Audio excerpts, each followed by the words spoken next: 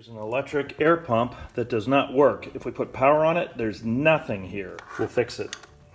Over the years, there's been a lot of humidity, so we're gonna take apart and see what does not move in it. With a number two Phillips screwdriver, we'll pull everything apart.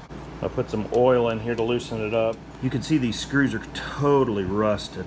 I had to use a flathead screwdriver to get them out. Sometimes that sticks in a little better. I had to snap one of the plastic pieces off, but we got it. You can see how bad that screw is.